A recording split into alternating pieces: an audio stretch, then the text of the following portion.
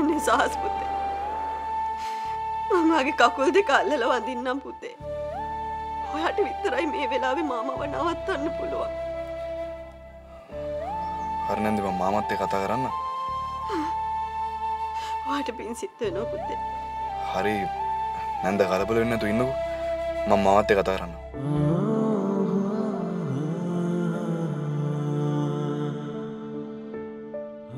ඔයා කියන කතාව ඇත්ත තමයි නිසංක. වගේ අක්කා එයාගේ දරුවන්ට හොඳ පුරුදු පුරුදු කරලා තියෙනවා.